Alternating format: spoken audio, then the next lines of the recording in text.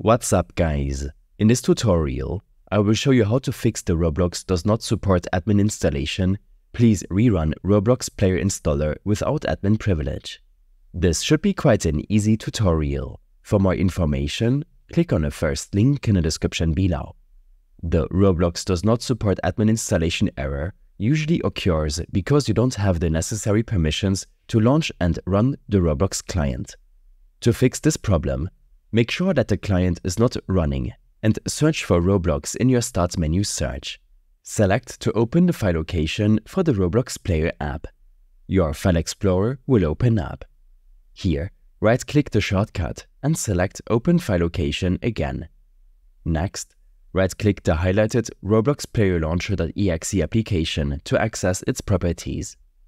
In the Compatibility section of your Roblox properties, check the Run this program as an administrator box before applying your changes. You can then close this window and try to launch a Roblox experience.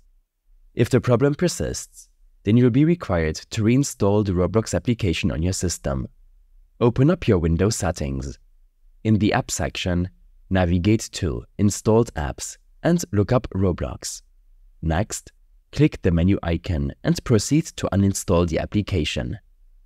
When this is done, head over to roblox.com and try to launch an experience. You'll be required to re-download some files, and then Roblox should open up automatically. These steps and more information will be available in my extensive guide linked in the description below. I hope this helped you out. Leave a comment if you have any questions and see you in the next one.